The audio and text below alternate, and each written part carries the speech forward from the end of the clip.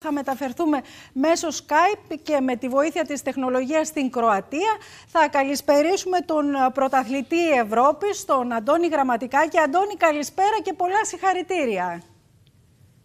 Καλησπέρα σας. Ευχαριστώ πάρα πολύ. Ευχαριστώ πολύ για την πρόσκληση και που μου δίνετε αυτή την ευκαιρία να μιλήσουμε.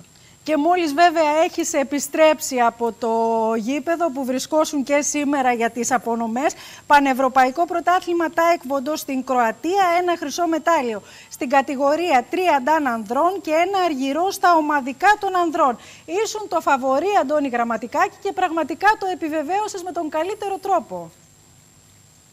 Ναι, ήταν αυτό που ήθελα να γίνει, ήταν το ιδανικό αποτέλεσμα για μένα. Προσπάθειες, κόποι, όλα αυτά ανταμείφθηκαν ε, διεκδίκησα το χρυσό, δύσκολοι αγώνες. Ο τελικός βέβαια με έναν συναθλητή, με έναν συμπαίχτη μου χρόνια στην εθνικη ε, ήταν οριακός, τα καταφέραμε όμως και φτάσαμε εδώ που είμαστε τώρα. Το έχεις εκεί κοντά κάπου το μετάλλιο να μας το δείξεις, να το δούμε και ζωντανά; Ναι, βεβαίως, βεβαίως. Μόλις γυρίσαμε, δεν το έχω βγάλει ακόμα από την τσάντα. Ωραία. Θα, ενώ θα μιλάμε, θα το βγάλεις από την τσάντα να το δούμε, νομίζω, γιατί ναι, ναι πραγματικά, ναι, πραγματικά αξίζει τον κόπο και θέλουμε να μας πεις, Αντώνη, και πώς είναι γενικότερα και το επίπεδο των αγώνων σε αυτό το. Α, πολύ ωραίο. Μπράβο, συγχαρητήρια. Το χρυσό, και, το, το αργυρό στο, στο ομαδικό. Περήφανο ναι, ναι, ναι. εσύ, περήφανοι και οι γονείς σου, οι οποίοι στηρίζουν επί σειρά ετών όλη αυτή την προσπάθεια και αξίζουν και αυτοί βέβαια τα δικά τους τα, τα συγχαρητήρια. Πώς είναι λοιπόν το επίπεδο των αγώνων σε αυτό το ευρωπαϊκό, Αντώνη, ε, Πολύ ψηλό επίπεδο. Εντάξει, πανευρωπαϊκό είναι. Ε, δύσκολοι αγώνες, οριακοί. Σαν χώρα τα πηγαίνουμε πάρα πολύ καλά. Πιστεύω ε, θα βγούμε πρώτη χώρα. Α, Έχουμε ήδη ένα κενό μια διαφορά από τον δεύτερο αρκετών μεταλλίων. Ε, αυτό όμως δεν, δεν πάει να πει ότι το επίπεδο δεν είναι εκεί που θα έπρεπε, δεν είναι υψηλό. Η ε, Ελλάδα είναι σε υψηλό επίπεδο. Η Ελλάδα είναι σε πάρα πολύ υψηλό επίπεδο και το τάκι αλήθεια είναι δεν έχει την αναγνώριση που θα έπρεπε. Γιατί στην Ελλάδα έχουμε αθλητές κορυφαίου επίπεδου που φέρουν κάθε χρόνο συστηματικά χρυσά στη χώρα μας και μας ανεβάζουν κάθε χρόνο όλο και πιο ψηλά. Πέρσι δεύτερη, φέτος θα πάρουμε την πρώτη θέση στο Πανευρωπαϊκό. Mm-hmm. Αντώνη Γραμματικάκη, πες μας λίγο, ενώ βλέπουμε βέβαια και πλάνα από, και από άλλες ε, διοργανώσεις όπου είχε στεφθεί ε, πρωταθλητής, πες μας λίγο πόση προσπάθεια κρύβεται πίσω από αυτές τις επιτυχίες; Πάρα πολύ, τόσο πολύ που δεν μπορώ να, να το πω μέσα σε λίγα λεπτά με λίγα λόγια. Υπάρχουν ώρες ατελείωτες σε γυμναστήρια, σε σχολές, προσπάθειες, θυσίες, πάρα πολλές θυσίες σε όλους τους τομείς της ζωής μας. Αλλά όλα το κάνουμε για αυτό κυρίως, για αυτό εδώ. για την οικογένειά έτσι. μας, για τον τόπο μας, ναι, ναι, ναι, για τα πάντα. Για, για να είμαστε εμείς καλά με τον εαυτό μας και να νιώθουμε ότι προσφέρουμε.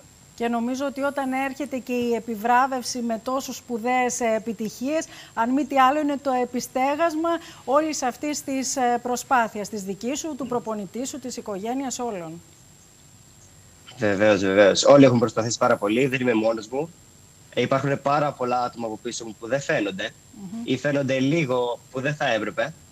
Ε, πίσω μου έχω προπονητές, έχω γονείς, έχω φίλους, στήριξη άπειρη και μπορώ να πω ότι είμαι ένας από τους πολύ τυχερούς αθλητές που έχω όλη αυτή την υποστήριξη χρόνια τώρα σε όλους τους τομείς της ζωής μου και με κράτησαν σε αυτό το επίπεδο και μου δίνουν και μια όθηση να συνεχίσω.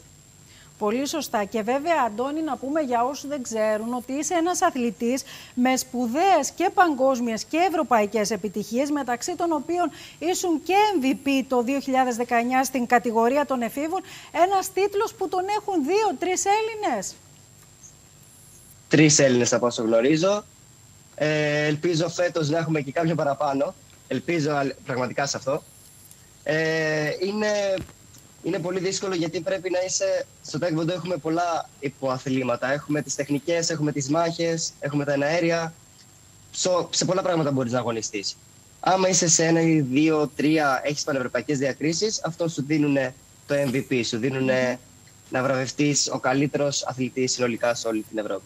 Έχεις απόλυτο δίκιο. Και θέλω να μας πεις έτσι, ένας αθλητής που έχει φτάσει σε τόσο υψηλό επίπεδο, που φοράει το εθνόσημο, που έχει επιτυχίες και μετάλλια σε παγκόσμιες και διεθνείς ευρωπαϊκές διοργανώσεις, πού μπορεί να στοχεύει μελλοντικά; Ε, μελλοντικά, εγώ το μόνο που θέλω, το μόνο που ελπίζω που δεν έχω καταφέρει, θέλω ένα χρυσό παγκόσμιο. Αυτό θα ήταν το ιδανικό για μένα. Να τελειώσω ε, την καριέρα μου ως αθλητής, γιατί σπουδάζω, όπως είπατε, ε, γυμναστική ακαδημία τώρα στη Θεσσαλονίκη. Θέλω να ασχοληθώ με την προπονητική. Θέλω να μείνω στο άθλημα όσο περισσότερο μπορώ, μακάρι για πάντα. Ε, αλλά θέλω να κλείσω την αθλητική μου καριέρα με ένα χρυσό παγκόσμιο και να σου το ευχηθούμε και είμαστε βέβαιοι με την προσπάθεια που κάνεις όλα αυτά τα χρόνια μπορείς να την επιτύχεις. Θέλω να κάνουμε μια αναφορά και πάνω σε αυτό το κομμάτι που μόλις είπες. Είσαι ε, στο τρίτο έτος ε, στα ΤΕΦΑ Θεσσαλονίκης. Παράλληλα λοιπόν με την ακαδημαϊκή σου εκπαίδευση ε, προπονείσαι ταυτόχρονα. Πώς το συνδυάζεις όλο αυτό; Δύσκολα. δύσκολα. Αρκετά δύσκολα. Ναι, η αλήθεια είναι ότι έχω χάσει κάποια μαθήματα ώστε να είμαι στις προπονήσεις μου, ειδικά όταν είμαστε σε προετοιμασία εθνικής, προηγούμενο πανευρωπαϊκό, έπρεπε κάθε Σαββατοκύριακο να κατεβαίνω Αθήνα. Έχανα όλη μου τη Δευτέρα, έχανα την Παρασκευή μου για να κάνω προπονήσεις Σαββατοκύριακο. Είναι δύσκολο, οι ώρες βγαίνουν πολύ ωριακά. Το διάβασμα, στην εξεταστική. Πριν λίγο καιρό είχα εξεταστική, αλλά δεν μπορούσα να αφήσω τις προπονήσεις μου. Είχα πανελλήνιο, είχα πανευρωπαϊκό, έπρεπε να είμαι σταθερός αλλά με πολλή προσπάθεια και υπομονή, επιμονή και αν το θέλεις πραγματικά τα καταφέρνεις. Έτσι είναι και νομίζω ότι αποτελείς πραγματικά παράδειγμα προς μίμηση και στα νέα παιδιά που κάνουν και τη δική τους ε, προσπάθεια και στα δύο επίπεδα και σε αυτό που είτε αφορά το σχολείο είτε το ακαδημαϊκό κομμάτι και ταυτόχρονα τον αθλητισμό. Ε, Αντώνη, ε, σε αυτό το ευρωπαϊκό πρωτάθλημα από όσο γνωρίζω, εσύ θα μου πεις αν είναι έτσι, πήγες ε, με δικά σου έξοδα, χωρίς την πολλή θέληση τη δική σου, χωρίς τη στήριξη της οικογένειάς σου, σίγουρα δεν θα τα έχεις καταφέρει και αυτό είναι ένα δύσκολο σημείο και ένα μελανό κομμάτι, επέτρεψέ μου να πω. Αυτό ακριβώς είναι που σας είπα ότι πίσω μου υπάρχουν πάρα πολλά άτομα. Εγώ αυτή τη στιγμή, για να είμαι στο επίπεδο που είμαι, δεν θα μπορούσα να δουλεύω μαζί με το Πανεπιστήμιο. Έχω αφιερώσει τις ώρες που είχα ελεύθερες στο να κάνω την προπόνησή μου. Άμα δεν ήταν οι γονείς μου, η οικογένειά μου και τα λοιπά να με στηρίξουν από πίσω, να μου καλύψουν τουλάχιστον τα έξοδα για να έρθω σε αυτό το πανευρωπαϊκό, πολύ απλά δεν θα ήμουν εδώ. Άσχετα αν το άξιζα, άσχετα αν μπορούσα να πάρω τον χρυσό, δεν θα ήμουν εδώ. Έτσι, έτσι ακριβώς είναι και νομίζω ότι πραγματικά και η πολιτεία αλλά και οι τοπικοί φορείς, περιφέρεια, δήμος και όλοι οι αρμόδιοι θα πρέπει να σταθούν ε, δίπλα σε εσάς και να ενισχύσουν τις προσπάθειές σας γιατί με τα αποτελέσματα αυτά φαίνεται ότι πραγματικά αξίζει τον κόπο να είναι δίπλα σας σε τέτοιες προσπάθειες. Μιλάμε για χρυσό και αργυρό ευρωπαϊκό μετάλλιο. Αν μη τι άλλο σίγουρα χρειάζεστε τη στήριξη των αρμοδίων σε αυτές τις προσπάθειες και όχι να καλύπτετε τα έξοδα από μόνοι σας. Δυστυχώς. Θα ήταν ε, πολύ πιο εύκολο, θα ήταν ε, τεράστια βοήθεια.